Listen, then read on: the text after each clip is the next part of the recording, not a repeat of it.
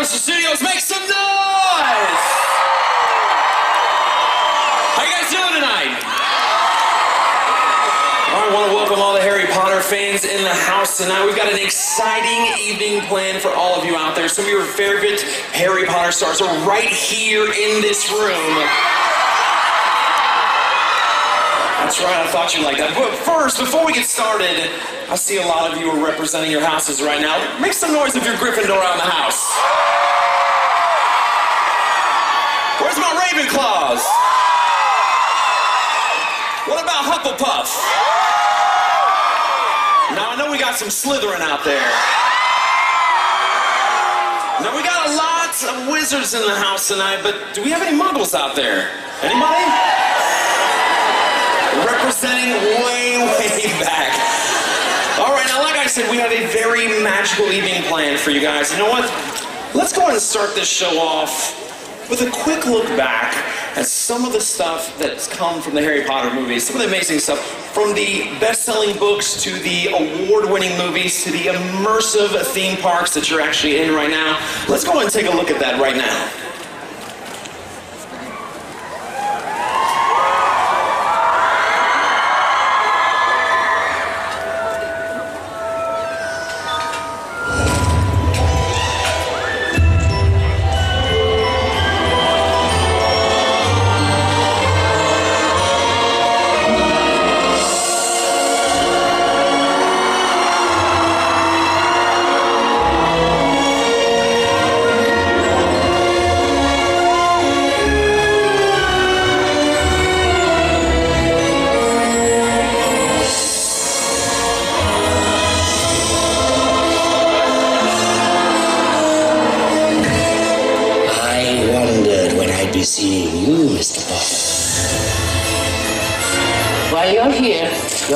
Will be like your family. Oh, you've saved yourself. Mr. Potter will always be around to save the day. Mr. Potter, our new celebrity. It gives me great pleasure to welcome each and every one of you. You three best be looking after yourselves.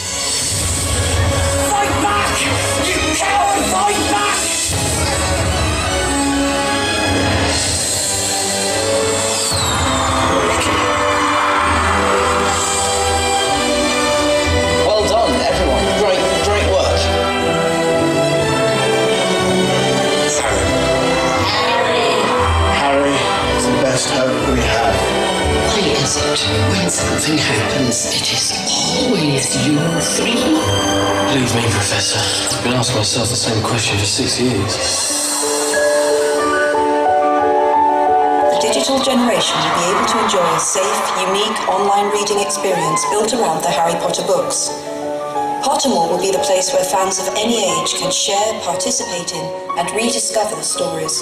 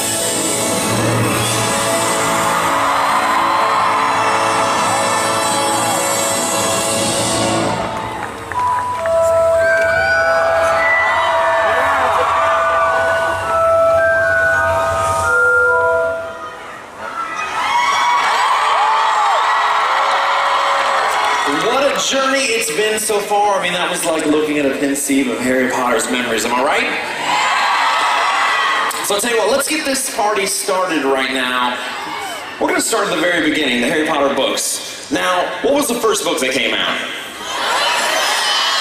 That's right. Can you believe that it has been 15 years since that book came out? 15 years. And you know what? During the anniversary, we actually decided, Scholastic decided they were going to re-release the books with a brand new cover art. And our next guest is actually the one who did all that. It's the one and only Kazu Kibuishi. Now, Kazu is an Eisner-nominated artist and author and a longtime Harry Potter fan who was recently chosen by Scholastic to reimagine the covers of all seven Harry Potter books. Now, as you can see right back there, each of the covers depicts a distinct and memorable moment from the respective book that they're part of. And he also designed the back covers and the spines so they could put them together in a box set, which is really awesome. Now, Kazu said the opportunity was more than a little surreal. I want you guys to put your hands together and make some noise for the one and only Kazu Kibuishi!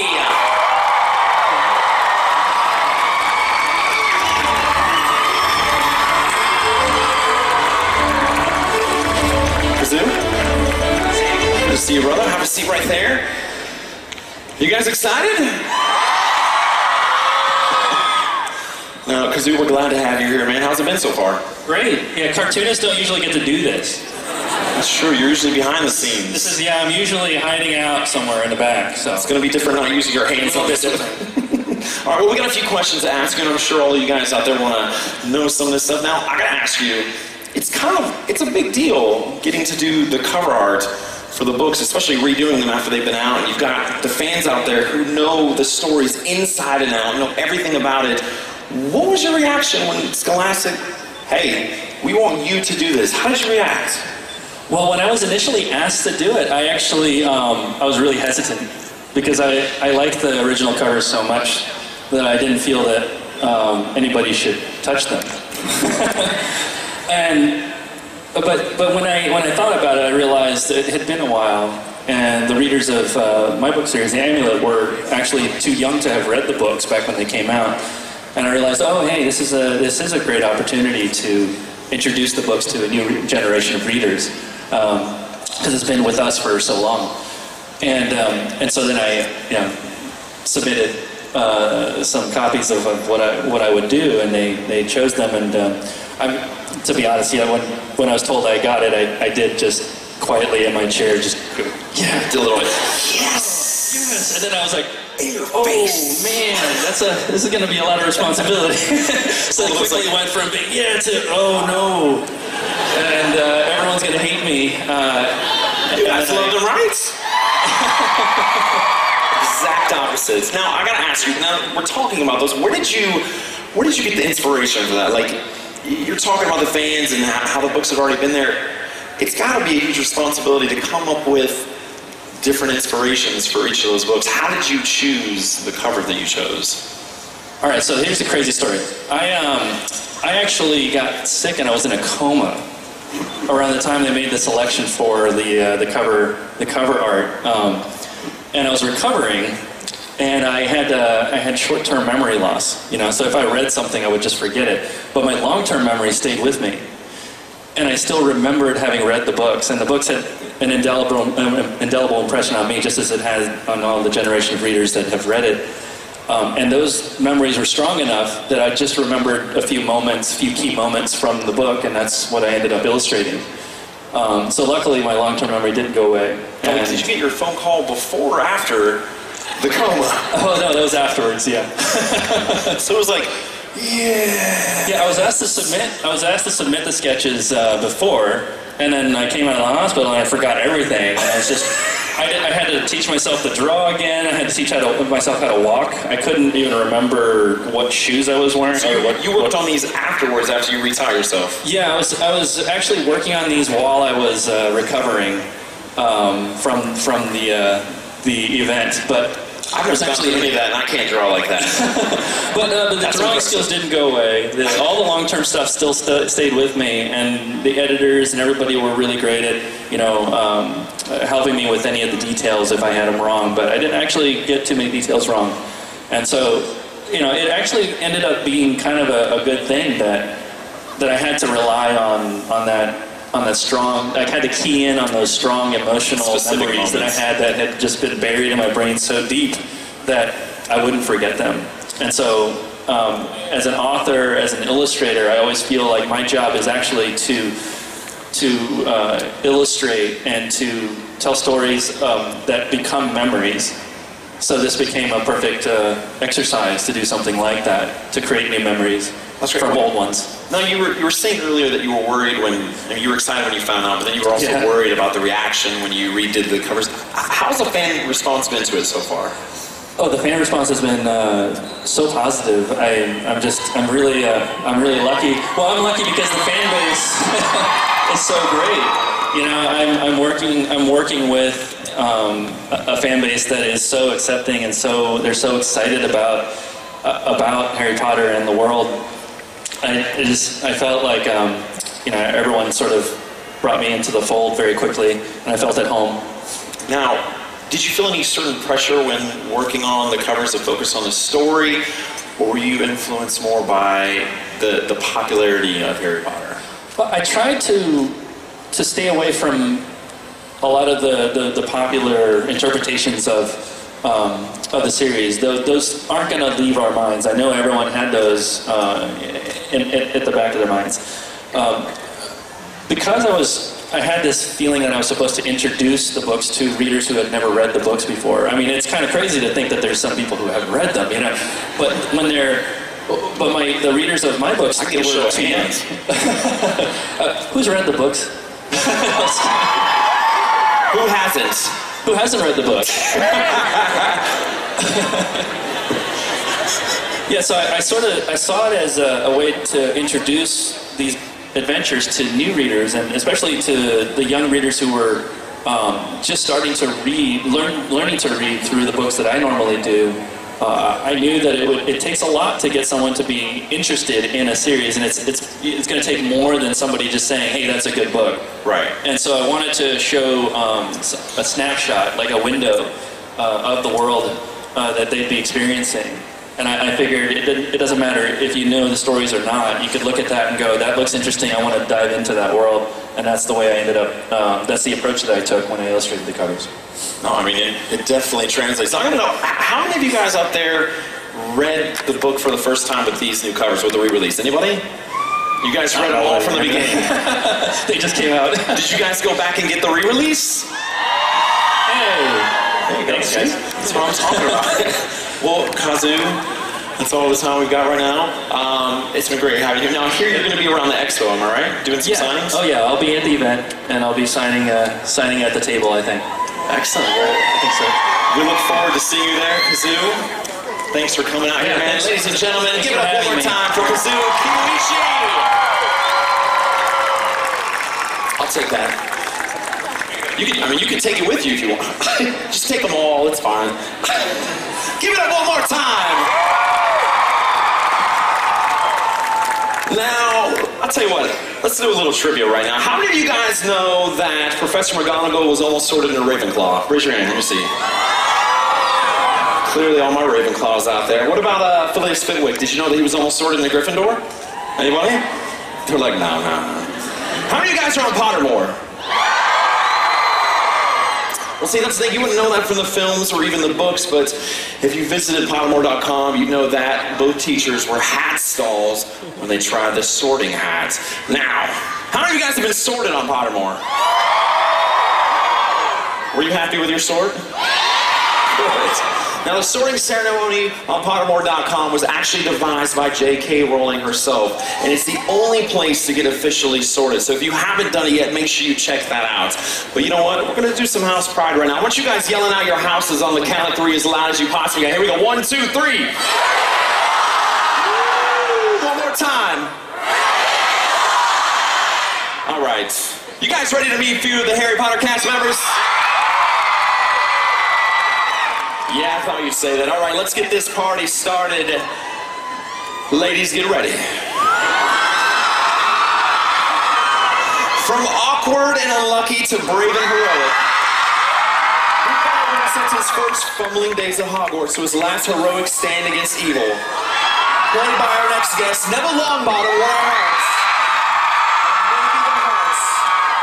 special Ravenclaw. As Harry Potter's friend and Dumbledore Army member, please welcome to the panel, Matthew Lewis!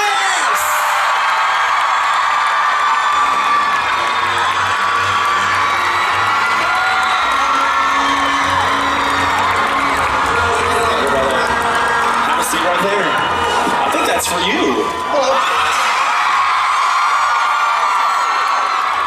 All right, it doesn't, it doesn't stop there. We're still going. Now, pranksters to entertaining entrepreneurs, we follow these two since Harry's first day Hogwarts.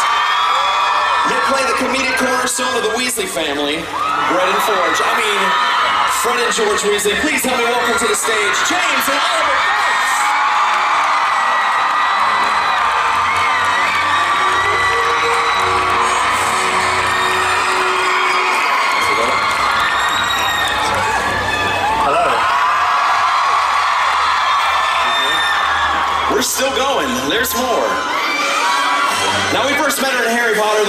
Phelps, as a quirky, quality Ravenclaw, Luna Lovegood.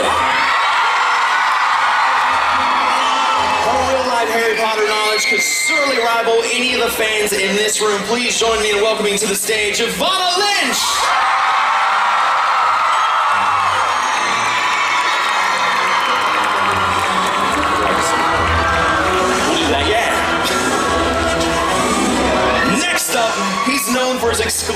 Explo- explosive presence in the series.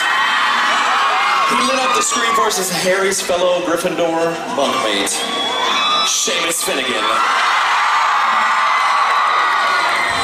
Please welcome to the stage,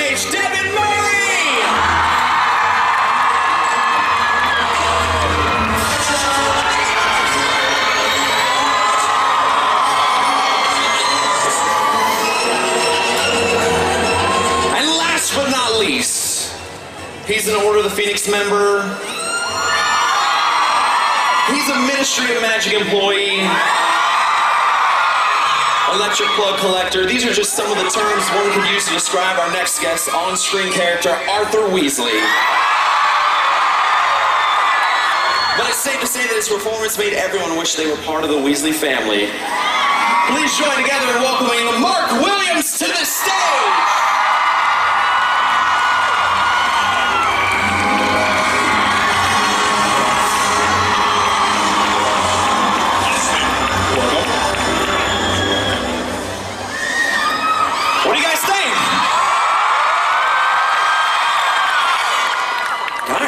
You're here.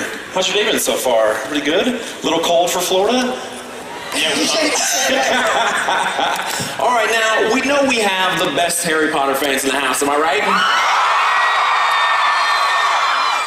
So here's what we're gonna do. We're gonna we're gonna do some trivia. We're gonna ask you guys some questions based on some of our favorite clips starring you guys. What do you guys think about that? We're gonna show some clips.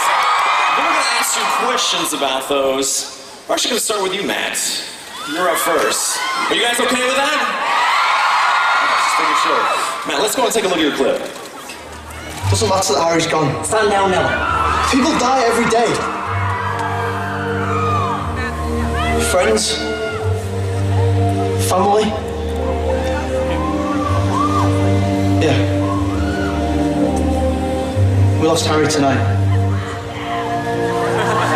He's still with us. In here. Still spread. Remus. Tonks. All of them. They didn't die in vain.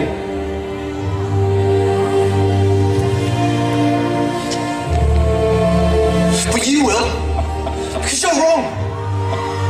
Harry's heart did beat for us. For all of us.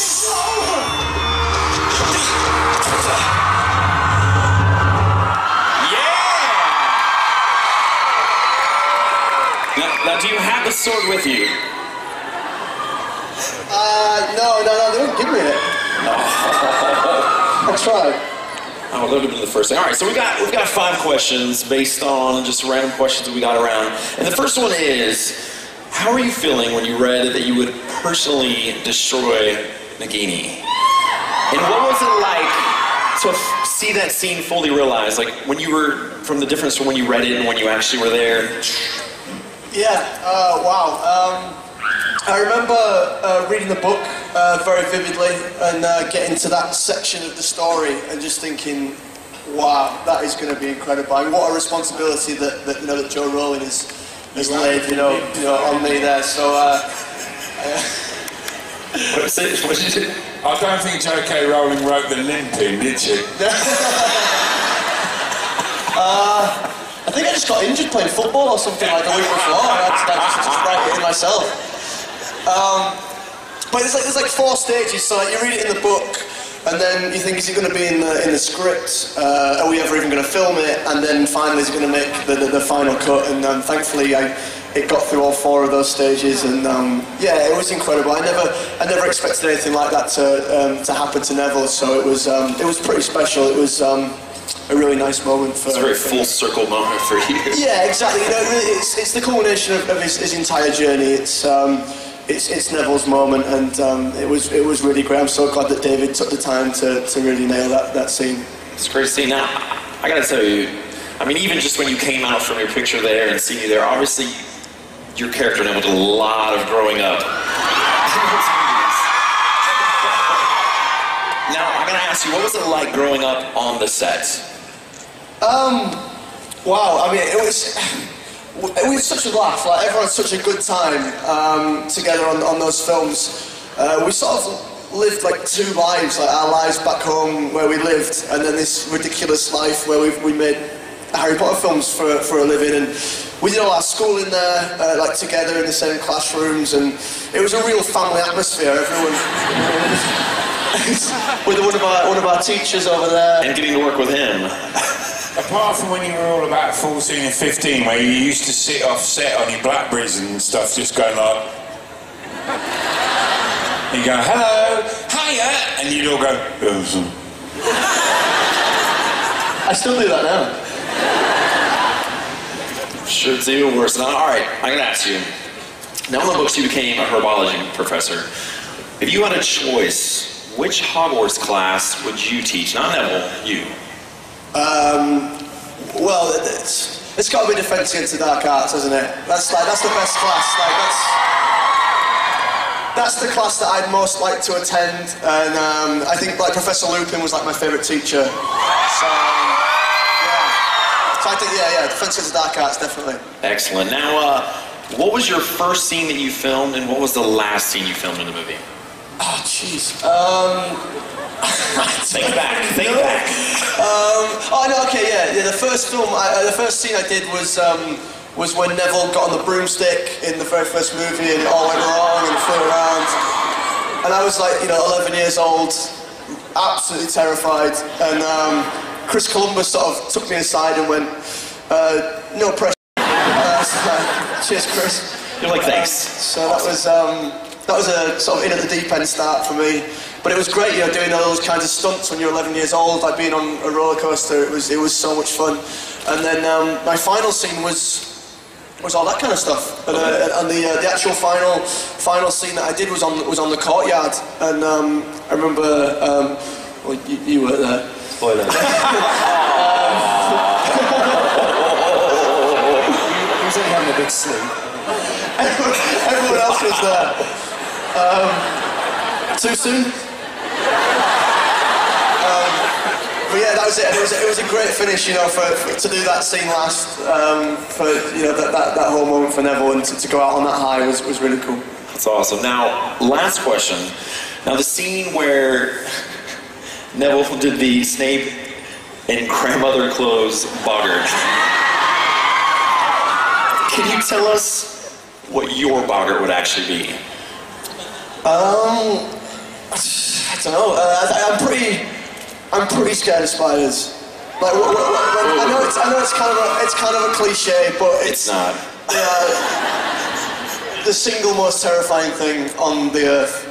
Um, they just uh, there's times in my house because I live in quite a, an old house, um, and there's lots of little like little holes and, and, and dark places where they can hide, and they. Uh, They've trapped me in my kitchen for hours before. Just, I've been there. and they, you know, they smell fear. They, they can, they know. Do you know those photos online where it shows like the person like, oh gosh, a spider, and then all of a sudden it shows a house blowing up, and it's like all good? That's that's it. Yeah. That's it. Yeah. I've got you know, baseball bat, samurai sword. I'll get anything I can I can just grab to try and take care of it. But um, they terrify me, Do you man. have a samurai sword in your house? You know. It just doesn't have the other one. It's just a samurai. all right, Matthew. That's that's all the questions I got for you right now. James, you're next. Let's go and take a look at your clip. Took to it just this morning. It's not going to work. Oh yeah? And why is that, Granger? You see this? This is an age line. Dumbledore drew it himself. So? So, a genius like Dumbledore couldn't possibly be fooled by a dodge as pathetically dim-witted as an aging potion. But that's why it's so brilliant. Because it's so pathetically dim-witted. ready, Fred? Ready, George? Bottom, sir.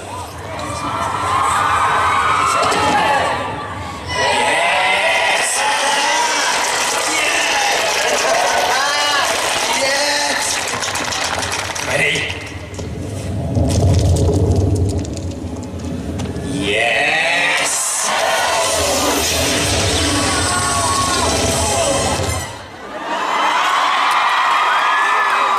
That was pretty much a typical scene for you guys. now I'm gonna ask you. Now, Fred and George were, were known to be notorious pranksters in the movies. Did you pull any pranks of your own during the films? A couple, yes. What, what was your favorites? Some we can't say for legal reasons. Let's the ones you can. Those we can. Um, I can't actually. One we did on Matt once. Um, I don't know if you can remember it or not. We Matt fell asleep in front of the TV in one of the dressing rooms, which we just happened to be playing Battlefield on. It's like a computer uh, game where you shoot people. So we turned the volume up to 100% and fired a, a few rounds off. it's quite entertaining. It was like this.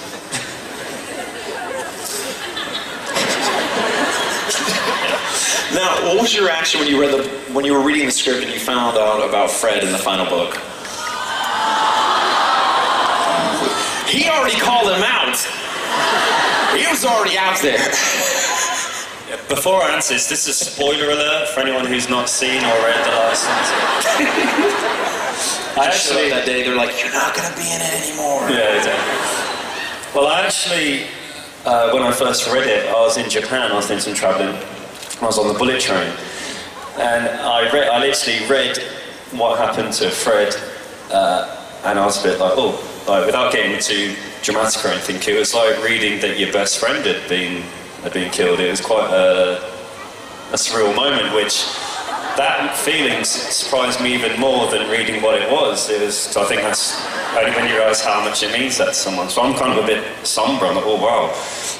As I'm doing that, the ticket inspector came round. He, I don't speak Japanese. He didn't speak English, but I was trying to like, I've just died here. Excuse me a. He's like, "Ticket." Yeah, like, ticket, ticket. I was like, You don't understand.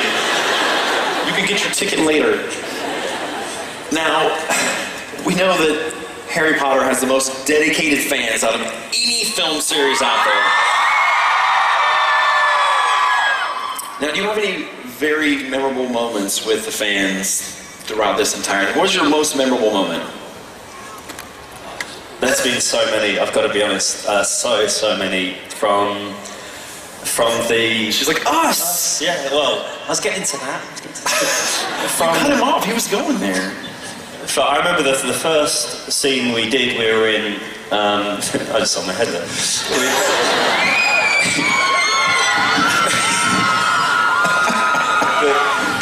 Those are pretty. Those look pretty good from out there.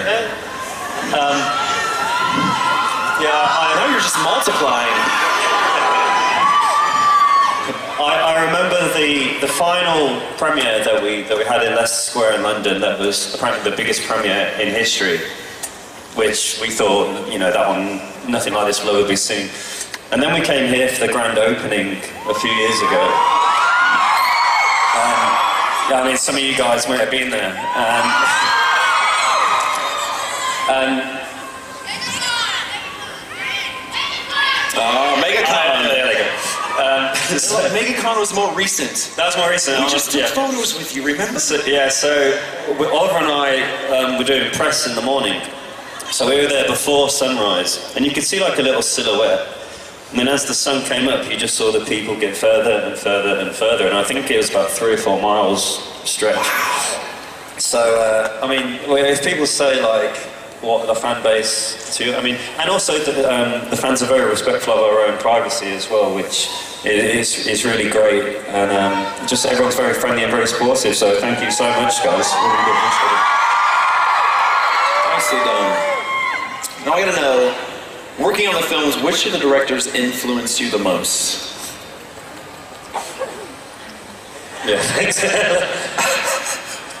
Dave, um, they all have, to be honest with you. I mean, Chris Columbus gave us our big break straight away. Um, Alfonso kind of um, got us really into into the characters, even so much so in the Marauders map scene, um, he he kind of helped the characters kind of cut each other up and really flow with each other. Develop. And then Mike Newell was just a hell of a, a good guy to work with, very funny. Um, he allowed me to keep my long hair, as you saw in that movie. and um, yeah, and then David, for the, for the last couple, he again really got you on the emotional side of the character. So I think I can't really answer just one particular director. They've all No, been it's- fantastic. That's great. Uh, last question. Uh, this was actually a Harry Potter question. So I gotta know if you could cast any spell, which one would it be?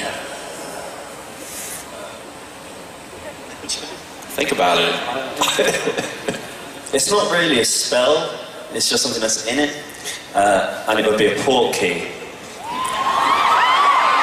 Like, I'm sure you guys have all been stuck at immigration in this country, right? It takes ages. So, and the flight as well. So, I mean, then I could just pop back and forth as much as I want. There you go. I like it. James, thank you very much. Thank you.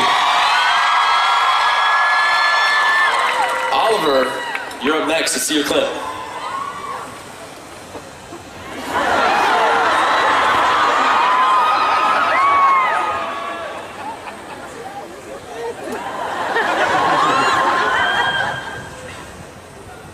Morning.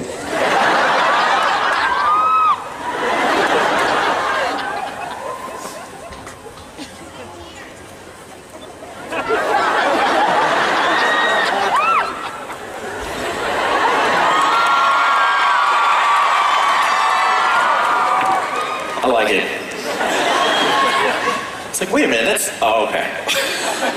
now, I gotta know, I'm looking at you guys right now, and I gotta say, when you guys had your hair longer, I don't know if I could have told you guys apart. Did you guys ever switch places on set? Did you ever did you ever switch places and and try to do each other's scenes to mess with everybody? Uh, it's a really boring answer, but no. um, in the, uh, I can remember the, I think it's the Chamber of Secrets on a long grey horse in a rehearsal we made, and thinking, oh, are we naughty? um, you, you couldn't tell the difference. The only time we actually had to, to swap over was because James uh, came down with a with, with a cold when we were filming, and uh, I think I was in Chamber Secrets as well. And Harry's leaving um, a homework session, and as he's leaving, and everyone thinks he's the um, the heir of Slytherin at the time, so people are talking behind his back. And in the reversal shot, I was sitting next to James, uh, but for the, for the split side, um, James wasn't there, so my double was where I was, and I had to move where James was. So if you pause it, you can see there's only one switch just just a little bit. That, that- that- was the only time. That's close enough. That's good. I like that. Now, what was your favorite scene in the film? In in any in any of the films. You can choose any They-. All pretty. I mean, that, that scene we just saw there was pretty cool because I just thought, what a, you know, what a, what a horrible, horrible brother to do that. Um, but I'm sure everyone would do that. But also, also the uh, the World Cup scene as well when we did that. That was that was really cool. Um, I think because we could just be ourselves at a football game, you know, shouting, "Come on!" and you Yeah, know, those getting into it. That was Um, fun as well because it was, it was really like you know dad taking the sons to see the sports teams play. So it was a really good time. Didn't mean to interrupt you. Uh, The flying was great though, wasn't it? You remember that day when we had um, the, uh, yeah, we, we with the Kirby wire harnesses. flying, and they they and it's stunt guys on great big steel drums binding you like this. and there's two there's two sets of drums, the drums to take you up and then the drums to take, and it was li- it was the length. It's back to those lights behind there, and they, they'd wind us up and then whap. I liked it. That's actually good because you know? The Quidditch scenes were awesome. What was it like when you were filming them, and, and was there any cool moments that happened? Um, I mean, the main thing with Quidditch is that how, again, like how the films evolved, so did the filming of Quidditch. Um, even to the f- point where we'd start filming on the first film, and it would be a small little bicycle saddle on the broomstick, and then by the end of it, it was this huge, almost like a horse riding saddle. Um, so it became a lot more comfortable. But actually filming it was, uh, it would be on a, a large track, and you could be anywhere from you know a couple of feet to quite high off the ground, and just go go for it all around there. And there were some uh, there were some cool cool parts from that Quidditch sequence. Um, but I mean, I think it's more interesting watching it than it was filming it because after a while it did get a bit repetitive and everything else. But it was still, I mean, everyone wants to fly, right? So it was the nearest way. Can't beat that, man. Now, if you were given the chance to avoid traffic, say you're on the way here, there's too many cars, you're like, listen, I need another option. Would you choose the Nimbus 2000, the Apparition, or the Flying Ford Anglia? Which one would you choose? Um, I wouldn't choose a Ford Angular, um, mainly because when we're filming, Ford Anglia. no, but for the main reason that when we were filming, we had we had Hedwig in the back with us, and it all looks cute and everything, but owls go to the toilet quite often. And it was the hottest day of the year. experience. Yeah, and this and this this owl had obviously eaten quite a lot. Um, he was flapping his wings, so the whole back of the car was just covered in bird. Did, did, it, did it get you? Um, it, it may may have been, yeah. Another reason I wouldn't get in a Ford Angler again. Um, but yeah, so I, I'd probably go for the Nimbus 2000. Was it a 2000 or 2001? Either one. Maybe, maybe 2001? Maybe a 2000. 2000? I mean, the Firebolt would have been better, I think. Yeah. But um, yeah, so a broomstick, I think, because you could uh, you could go a lot a lot quicker, and it's easy to park as well. Than Yeah, it's just you. You don't have to worry about anything else. Now, I gotta know, what would your Patronus be? If you had to choose one. Um, oh gosh, I don't know. It'd be Just you. just me, Oliver, or me. Just you, Oliver. Um, you say, you say his brother? You saying I'm scary? Is that yeah? um, it would probably be like a panda. Yeah, just like obviously like obviously like uh, Harry has his, his big stack. I'm a bit chilled back like that, so it'd probably just be Just kind of sits there and just goes, like sitting there with a bamboo stick. Dementors going Exactly. everywhere, and he's It's just. not like super intimidating, but just there. Like, you know and then, just, and then like every now and then you do it, and he'll just be asleep. No, get up and do Come on. all right, Oliver, that's all I got for you, man. Evanna. Let's go ahead and take a look at your clip.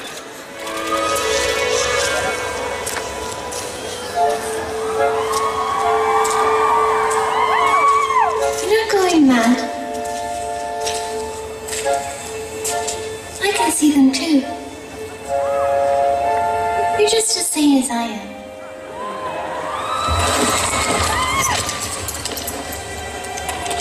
Everyone says Luna Love. Luna Lovegood.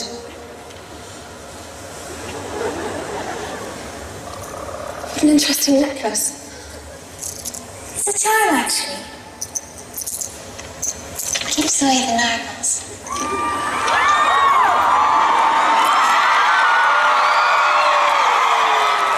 It worked.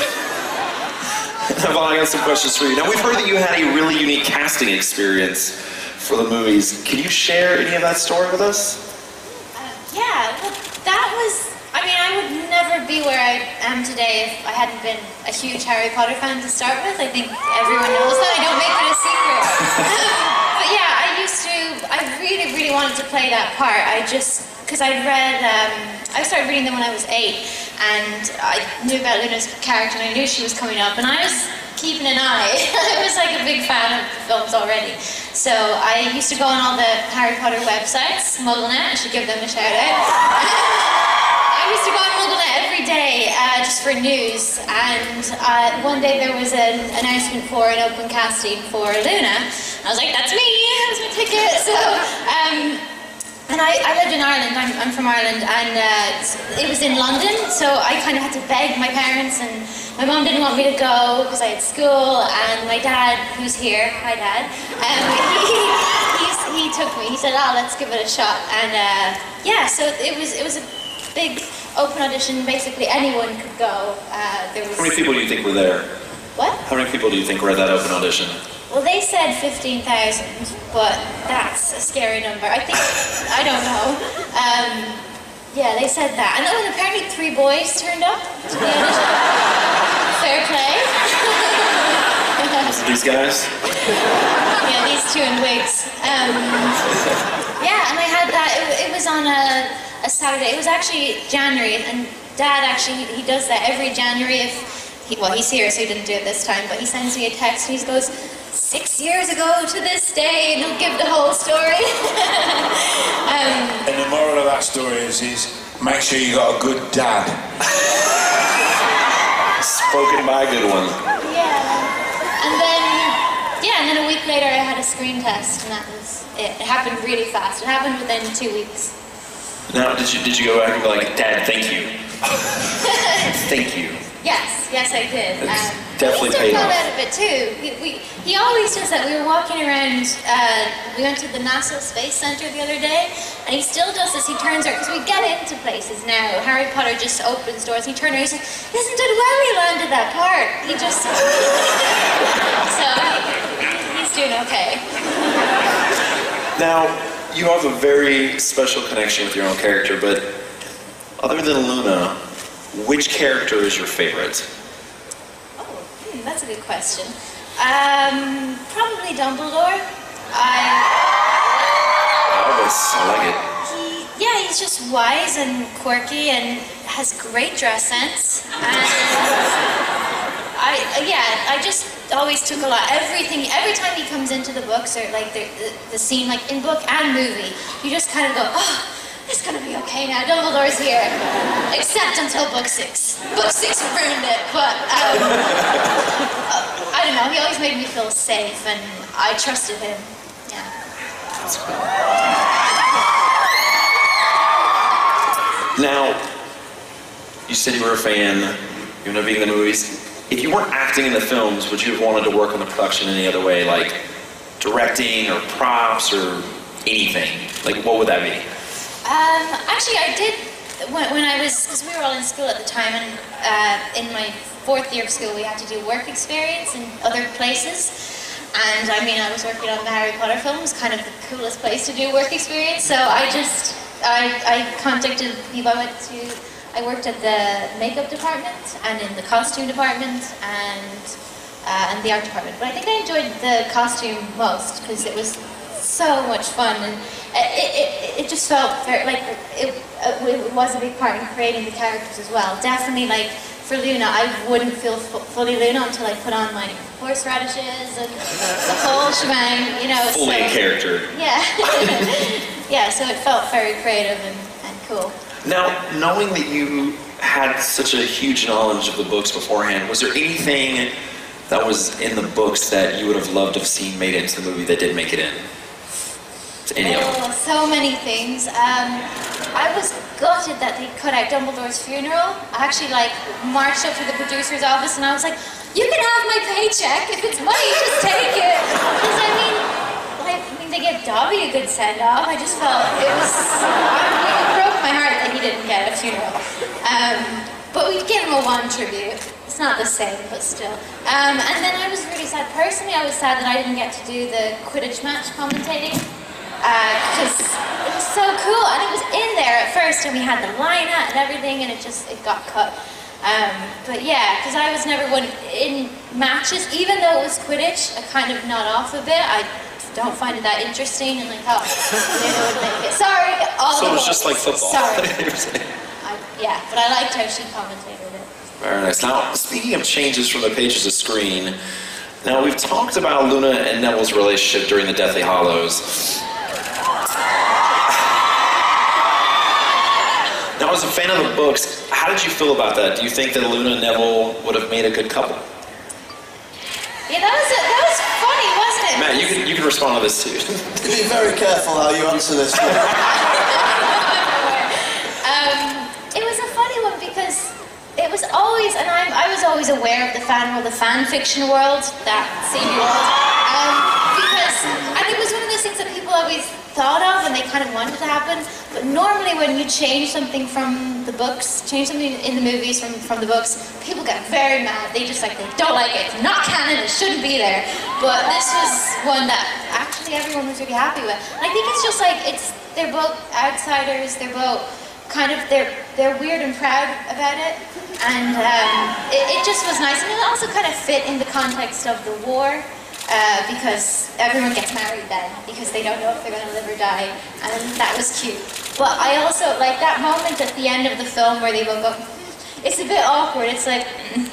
I, personally, I think I think too, Luna's too weird for Neville.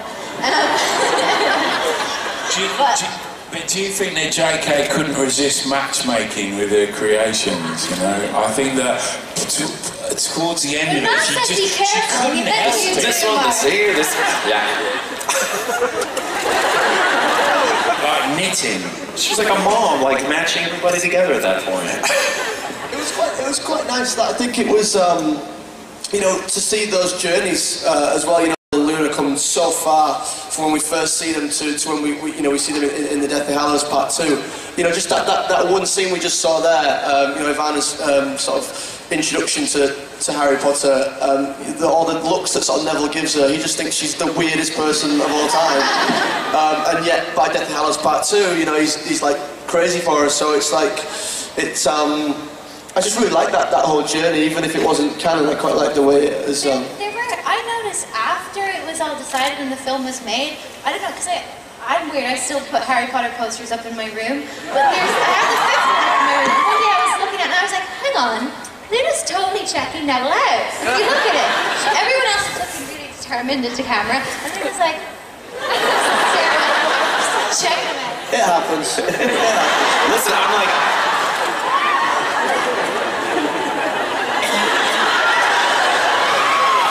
Still doing it now.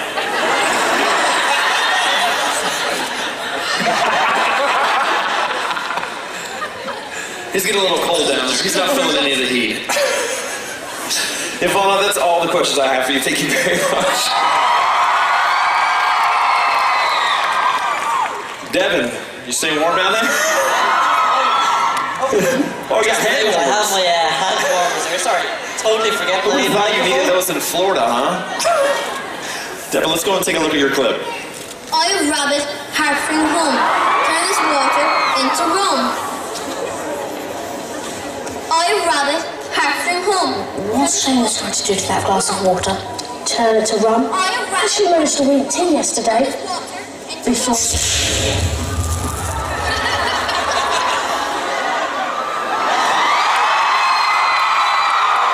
Nailed it. Thank you.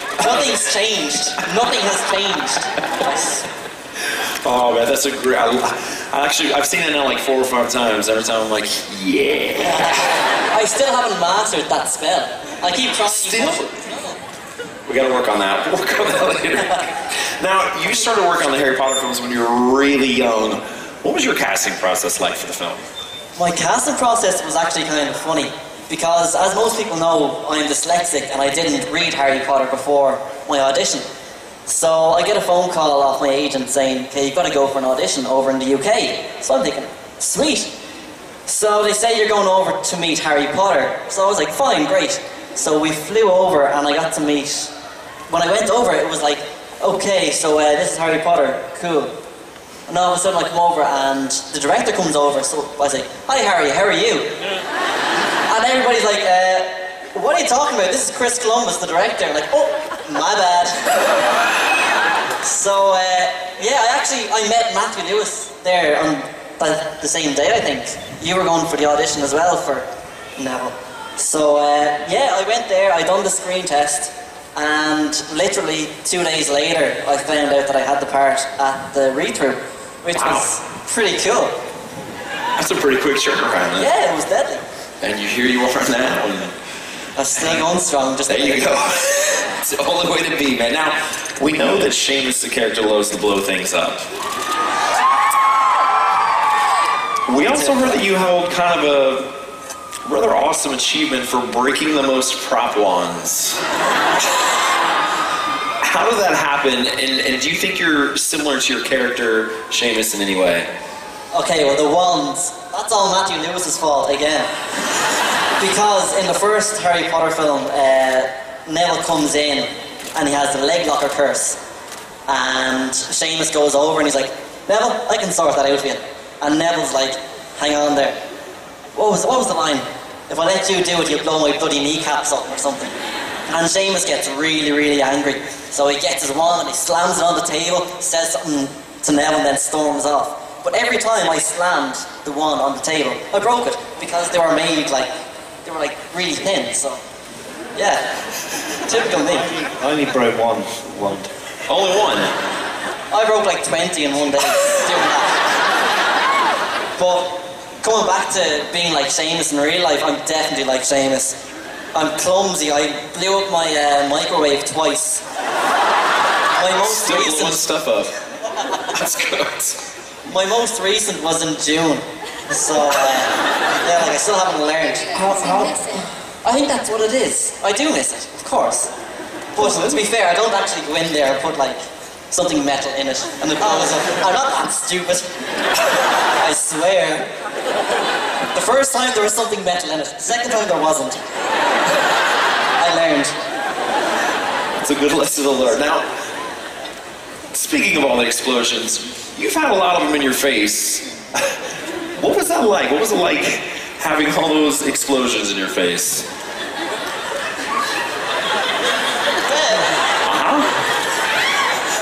It was kind of it was kind of cool. It was an experience. uh, I just see Matthew Lewis away, taking it away, and he's going to set me off. But uh, yeah, like it was, it was really cool. I was my very first explosion was on the first movie. Now everybody else is giggling and setting me off. Cheers. Uh, yeah, it was on the very first one, and it was with uh, Professor Flitwick and it was on my 13th birthday and I done it and it was great. What they done is they had to use like special bulbs and they were like the old fashioned cameras that had one flash.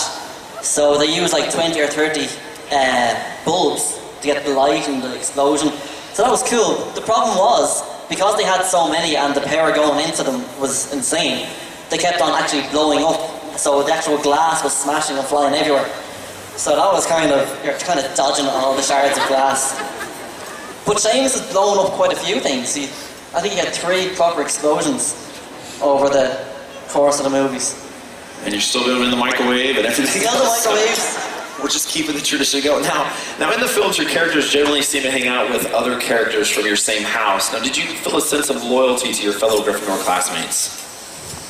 On set, uh, it was kind of everybody was just all best mates, you know. You, you wouldn't say, oh, I'm not going to hang out with Tom, Jamie, or anyone like that because they're in Slytherin.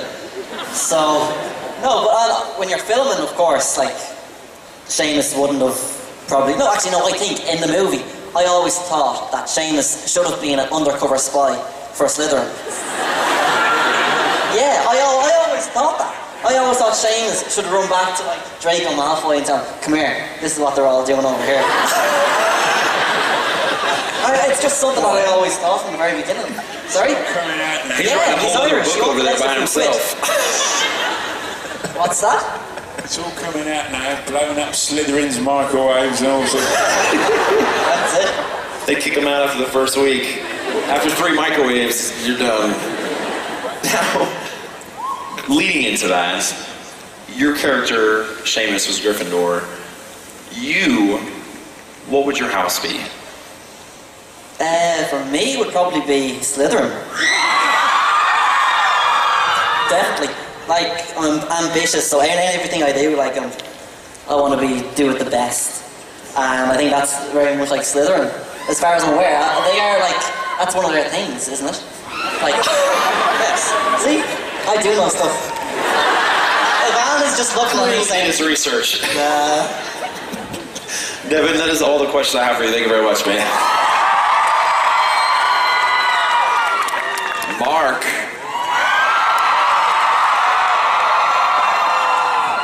Your turn, man. Let's check out your clip. And who are you? Oh, sorry, sir. I'm Harry, sir. Harry Potter. Good Lord. Are you really? Well, Ron's told us all about you, of course. When did he get here? This morning, your sons flew that enchanted car of yours to Surrey and back last night. Did you really? How'd it go? Oh, I mean, that was very wrong indeed, boys. Very wrong of you. Now, Harry, you must know all about muggles. Tell me, what exactly is the function of a rubber duck?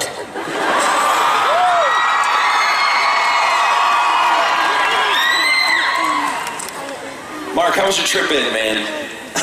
how, how was your trip in? Oh, it's, yeah, what? Here, on the aeroplane? Yes. Marvellous.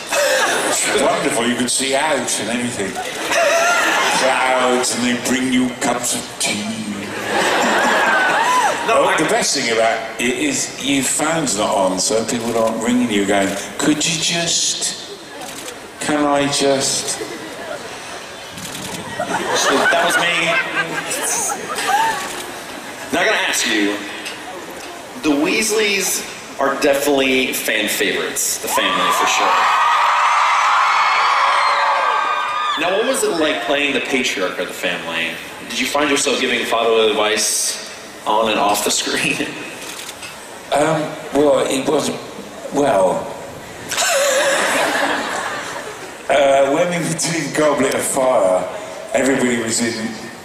And you were all really young, and it was it was a laugh. So mostly it was like, "Shut up." Ginny, uh, Bonnie just used to bounce around. And, and uh, yeah. and there's a lot of sniggering, yeah. so uh, it was a lot of fun.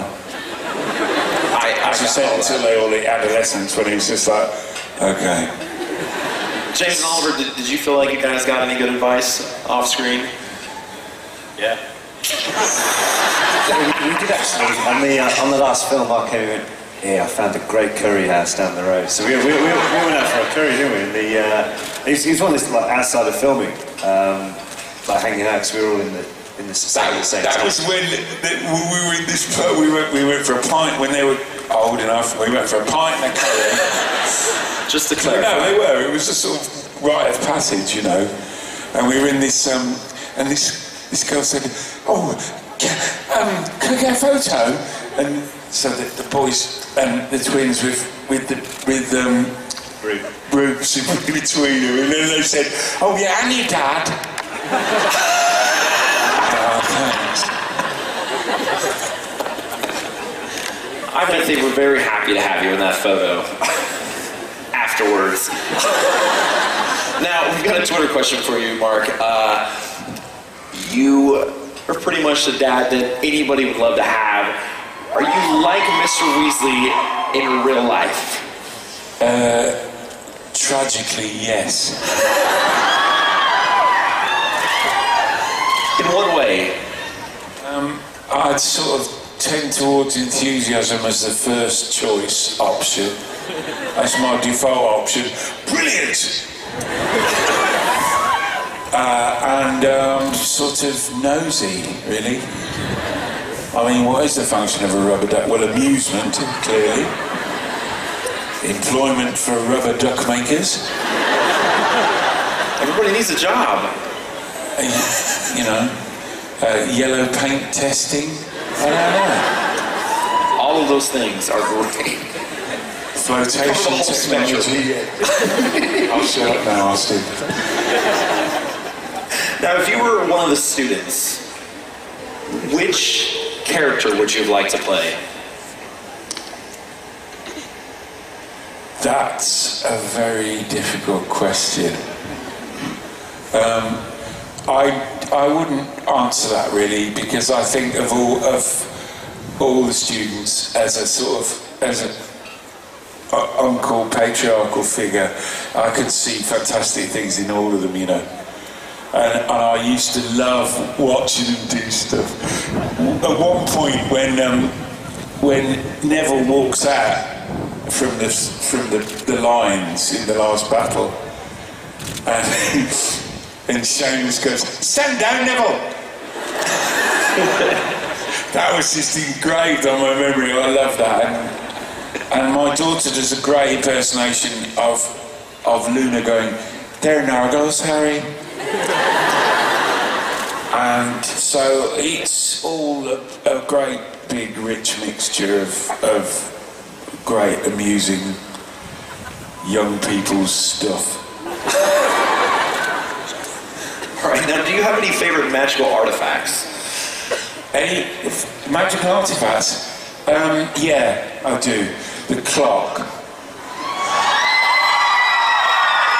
Uh, which I, it just is a, it was just a whole image for me of the quality and care and and um, uh, excitement of being on a set like that where the clock had got hands that were actually the, the finger pieces from scissors that went round with a picture of each of the family in them.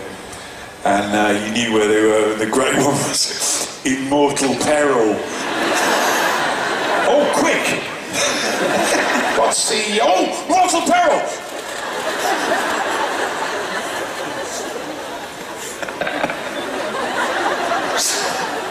All right, last question. now, your character So worked in many the calls between me and Julie, actually, though. Penny, mortal peril! We're just gonna do that throughout the night randomly now. Like, I just want you to pop up and say that throughout the entire night. Doesn't matter what's happening. Mortal peril! Now, we know your character worked in the Ministry of Magic. What would your wizard job be? Like, if you could get a wizarding job, what would it be? What, he does what, Jo- what yours, though. if Not, he- not your he character, yours. If, if I didn't, if he didn't, hang on a minute, you confuse me now. Faintly, I suspect. Austin, you, sorry, you have to spell that out. I'm just here to confuse you. That's yeah, what I'm. Are you saying if I wasn't in the Ministry of Magic, what would I do? No, your character Oh. worked in the Ministry of Magic, but you, if you Oh, so what there, what would your wizarding job be? Well, you're not interested in me, are you?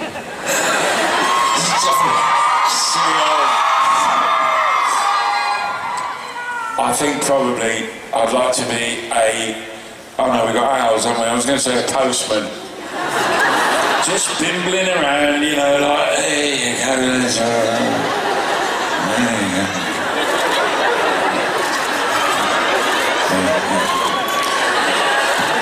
Oh, go home now, have a cup of tea. Mark, you guys have all been great. That is my last question. Or do you guys have any last things to say before? Yeah, um, a big thanks to everyone waiting out in the cold here.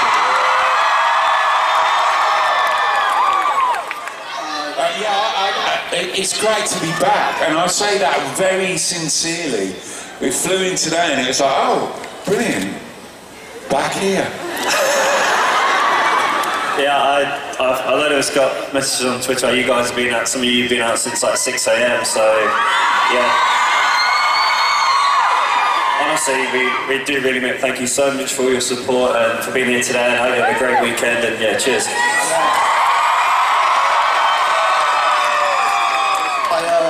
Know how much more I can add on, on, the, on the one with that, but you know, as the years roll by, you always think and we're going to come to one of these things and there's going to be no one here. Uh, uh, I'm, I'm looking at uh, all you people and it's, uh, it's, it's still pretty special. So thank you so much for coming out. I appreciate it. Thank you. And I want to say thanks for everything over the last, say, 14 years of my life. Everyone has been involved in great, all the support. And just thanks a million for turning out for this. And hope to see us all over the weekend. Reiterate what everyone has said. It's, it's so lovely to come back here. Um, I'm this, what Matt said, I keep expecting people to be like, who are you again? Get out. and it's really nice just to be welcomed back every single time. It does make it like feel like Harry Potter is a family and, and that you're of the family, which is so nice. And I also wanted to say thank you to Warner Brothers and Universal for having us all back all the time. Um, yeah, Yes. Thank you guys for joining us tonight. Now we know everybody. You guys want to ask some questions, right? Well, don't forget this weekend you're going to have your chance at the Toon Amphitheater at Islands of Adventure, so make sure you're there to go see it. You guys are all going to be there, right? Excellent. Now, I know you guys probably caught the announcement about Diagon Alley, am I right? Well, if you didn't get a chance to take a look at it,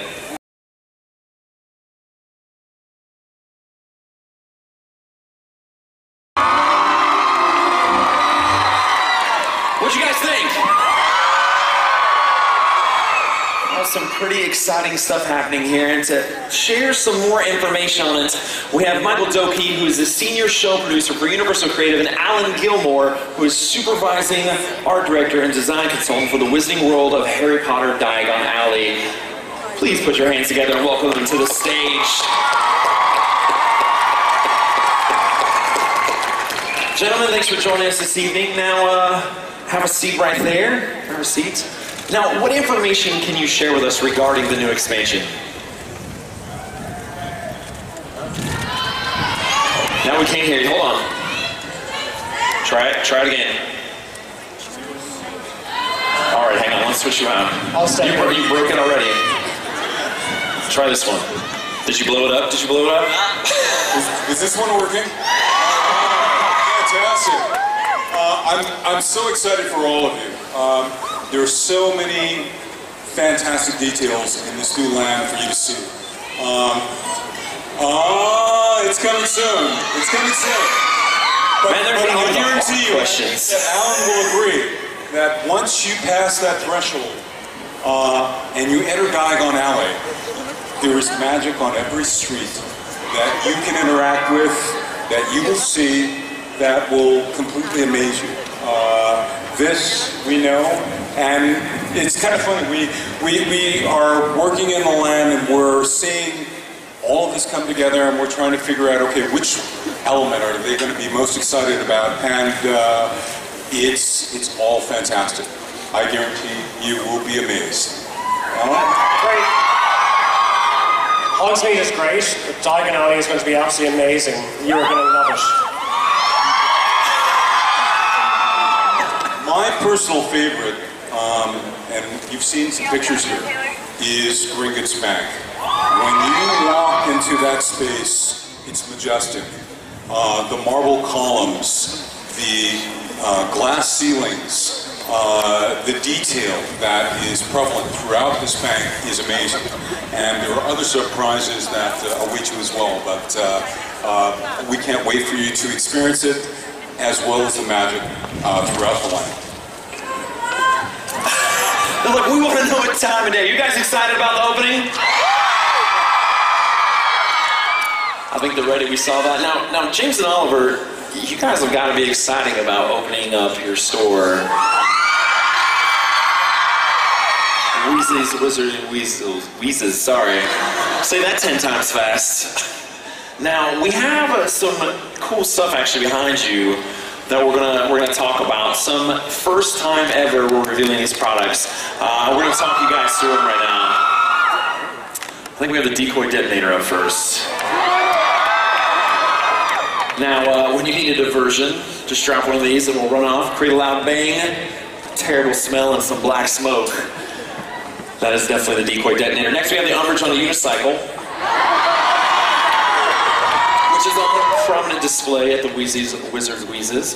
This miniature Dolores Umbridge on unicycle travels aimlessly about spouting useless information, just like Dolores herself. And last, we have this nose-biting teacup. Tired of your friends stealing your tea? Serve them one of these. That'll stop that real quick. Now, I understand, James and Oliver, we have some snack boxes you guys are going to talk us through. Yeah, can I start and say they won't make you sick unless you probably eat a lot and then go on the forbidden journey or, or something. And then eat some more.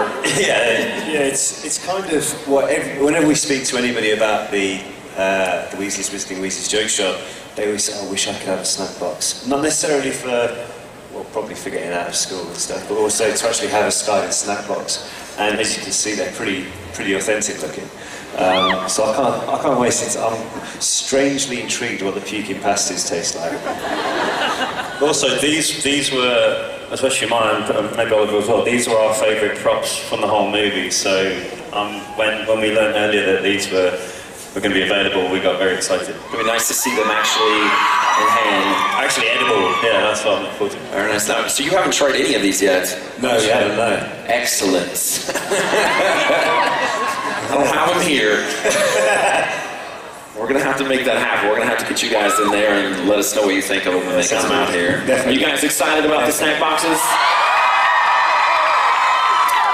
I thought so. Well, you know what? Here's what we want to do. We want to we want to open up some more questions right now. Uh, if I don't actually have a question for you, uh, what do you think about the guests being able to experience the Hogwarts Express? Now, we saw you on there. You got to go through there. You got to see something that nobody out here has seen. What are your thoughts? Um, I think definitely like the park it needed this because it's it's first time I came here like obviously being going to Hogsmeade was amazing but I, I almost felt like I wasn't emotionally prepared for it. I was like whoa suddenly we're in Hogsmeade you know and you, you come from the land of Sinbad and it's like what is going on? It's, a bit it's a bit jarring and uh, I think having the Hogwarts Express it kind of takes you out of the Muggle world like the way it did for Harry. And into and it just like I, I know like this was how it was for me and it will be for these guys and hearing the screams that you just like get very excited and like that, that will help I don't know just bridge that gap between Muggle world and Wizard world it really helps you immerse yourself in it and you believe you're here you know Very nice. We're all very excited about that. Now, we actually had some fans submit some questions through social media. We're going to ask those right now. And, and the first, oh, I thought we were done. now, I got to ask you guys, what is your role with the Wizarding World of Harry Potter? Um, I'll start. Um, my role is to represent the, um, the film design team, the film production team, to help Universal bring this story to life and create this immersive environment and create this most amazing environment that's never been seen before in the theme park world. Um, in Hogsmeade and Hogwarts, we, we succeeded in creating a beautiful place, but I believe in Diagon Alley we have surpassed that level of detail, and you guys are going to so love it. It's absolutely incredible. I can't wait for you to see it. And he's done an amazing job. And my job is to make sure that Universal delivers the intent that has been created by Stuart Craig and delivered by Alan. And I can certainly say, and I, and I hope that Alan agrees with me, that we are going to surpass, you know, everyone's expectation. We're, we're really, really excited. You guys have come here this weekend. Um, we're very close to completing this project, and we are really, really excited about how it's coming together. It's, it's beyond anything out there. You're absolutely going to love it. Now, what can guests expect from the Wizarding World of Harry Potter Diagon Alley? That's uh, that's a loaded question because there's there's a lot that I can reveal and, and a lot I can't. But Look, we won't tell anybody. What, I, It's what I cool. It's promise just between us. What I promise is that on every street corner, or well, on every street, there will be magic. Uh, magic that you will uh, participate in, and magic that you will observe. It's it's fantastic. These are full size. This is the city that you're walking in. And uh, there, there are streets and mysteries and magic on every street corner, and you're going to be amazed. When you pass from London through to Diagon Alley, you will be absolutely immersed. There's nothing else but you are in the world of Harry and his family and his friends and the, the, the wizards. You are absolutely and utterly immersed. It's, it's, it's fantastic.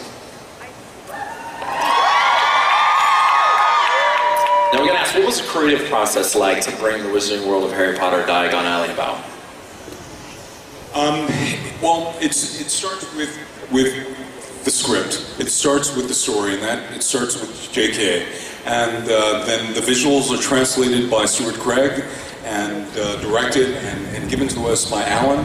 And our team at Universal uh, translates these illustrative drawings and concepts into uh, structures that can be built. And they have to be built to represent what you see in the films, what you know as Diagon Alley and these iconic figures. And uh, that's part of my job, is to make sure that we fulfill that dream and that promise to bring to you the reality that you see in those films. And I think we've done an excellent job.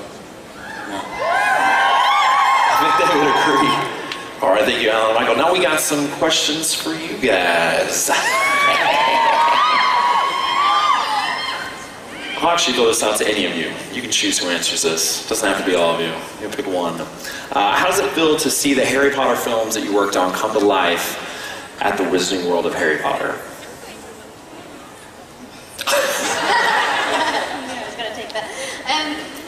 It's it's it's awesome because like I remember walking onto the sets for the first time and everyone expected me to be really overawed, and I was, but I was also like, where's the castle? I like I thought that it was a castle within a studio and it was kept super secret, but no, all the rooms were disconnected. Chessboard was broken and taken apart. It was actually kind of heartbreaking. So coming here, like, yes, this is how it's supposed to be. They put it together finally.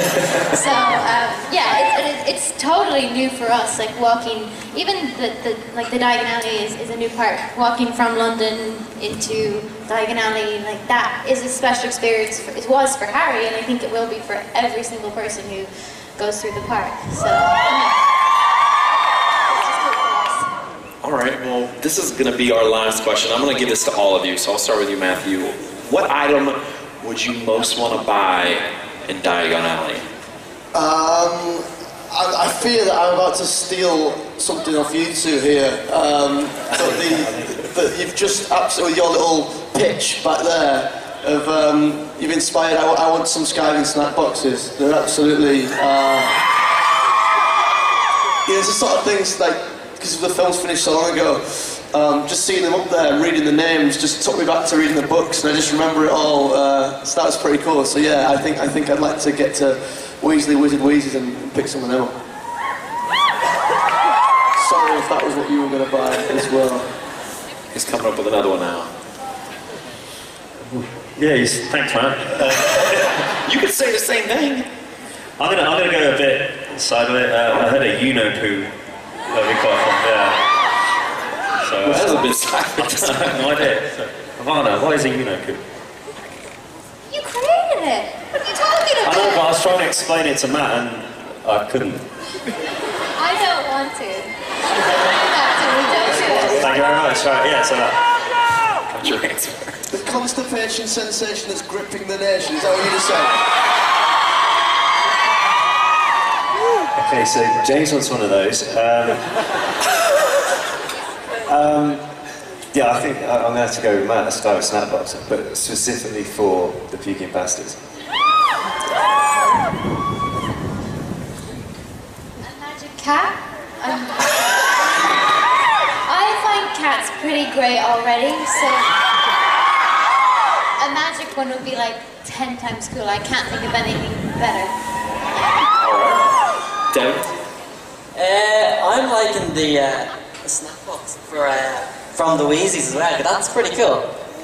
what I'm do you- sorry, it's nothing What, what do you think you would eat first out of it? Uh, the puking pastilles. I just gotta try them. Yeah. It's with the explosions. It's, it works. it could be the wrong explosion. What if you had a puking pasty and then a U-No-Poo? Would that What's up? Is that an idea? What? We're gonna make that happen. Yeah, yeah. So we'll, we'll, can test this out because the other one. feel like that's a challenge. See, we got somebody to do it already. Yeah, It's perfect. All right, guys, that is all the time we have for questions tonight. I want to thank all of our special guests for joining us on the stage. I definitely want to thank all the Harry Potter fans out there in the audience. You guys are forward to seeing you guys throughout the entire weekend. Now remember, we got a whole lot of activities planned out here. Starting with the Harry Potter Expo opens again tomorrow morning at 9 a.m., which is followed by our first Q&A session at Toon Lagoon Amphitheater at Islands Adventure at 10 a.m. I want to see everybody there. You guys going? All right, on behalf of myself, ladies and gentlemen, give it up one more time for all of our special guests.